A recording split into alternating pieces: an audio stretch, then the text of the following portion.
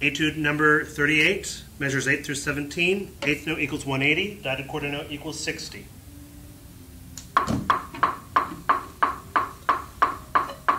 One, two, three, four, five, six. One, two, three, four.